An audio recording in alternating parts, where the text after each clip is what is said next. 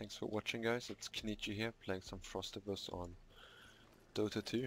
Uh, now this is another really easy one, just run around and don't blow up.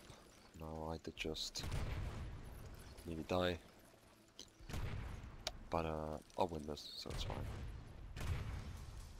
Just run away from anything that explodes, it's pretty self-explanatory, there's not really much to it if you're stuck between two, try and keep an eye out on which one spawn first and then run away from that one once it explodes.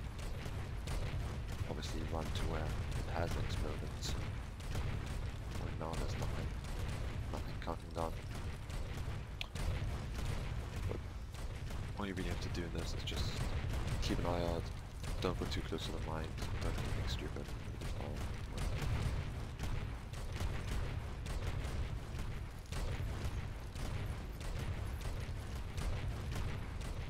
Lose a bit of it's, it's kind of annoying, but it's not anything to worry about.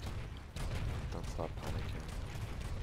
Just because you're half dead, as you saw, I started to run half dead, so I was a bit of an idiot right at the beginning. Don't worry about